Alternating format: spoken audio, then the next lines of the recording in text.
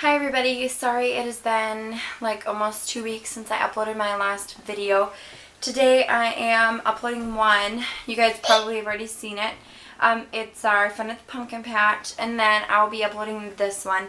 Um, within the last two weeks a lot has happened and I just got so caught up with everything else that I didn't get a chance to record a video or to edit my other ones and upload any. So um, just be patient with that and I'm sorry and I want to apologize. Um, with that, I just want to say that this probably will be a one take. I might do a little bit of editing, but probably not. Um, so bear with me. But since the last time I talked to you guys, a lot has happened. Like I said, I'm not sure if I ever went into detail about this, but my mom ran this little grocery store and the lady that she was leasing it from sold it and they didn't give us any warning and they only gave us Justin and I and Liam four days to move out. And that was right after my surgery. So I mean it was like last week is when we moved out. Saturday was our last day. So I mean it was two weeks after I had surgery that I had to pack and get everything ready and then we moved out.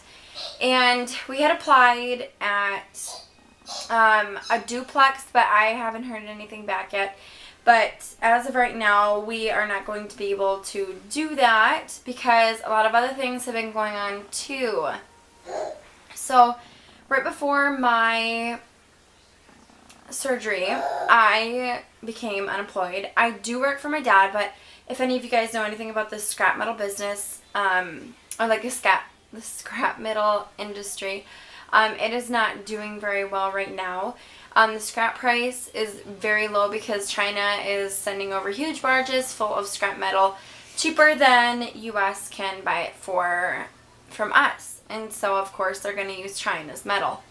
And my dad does own a salvage yard and a crushing business and so that um, that is not doing so well right now. I do still go and volunteer and help in his office for now, but right now I am laid off. And so um, with that being said, like I don't have a job. I've applied at a couple places, but um, he hopes it's just for temporary thing.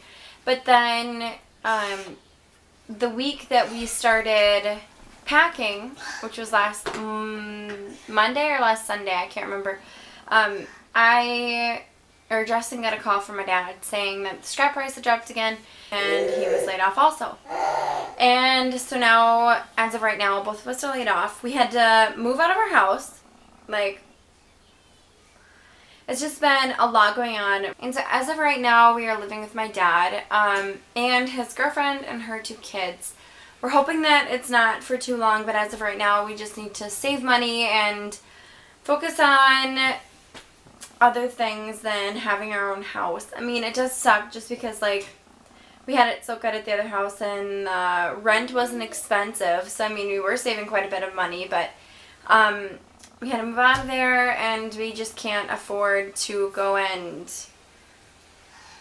rent another house and move into anywhere so quickly because it's the middle of month um, on such short notice. And so we are just kind of stuck doing what we're doing. But, I mean, I'm not too upset. I mean, I'm kind of upset, but at the same time, like, I've had a whole bunch of help.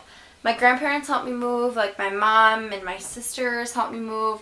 My brother helped me move. Um, Justin helped me move. You know, so, I mean, we've just had a lot of help um, all around, but it's just been really hard from, like, having everything go so good to, like, having my gallbladder removed, which, like, that wasn't too bad, but it was like gallbladder surgery and then like being laid off and then Justin being laid off and then us having to move out and live with my dad. And so it's just I don't know it's just kind of stressful and not having like a space of our own anymore. But I mean we are adjusting and we've been living here for it'll be a week tomorrow. Or no a week tonight. It'll be so, I don't know, I mean, it's not that bad, but still, just, it's hard. But I just figured that I would let you guys know what was going on, and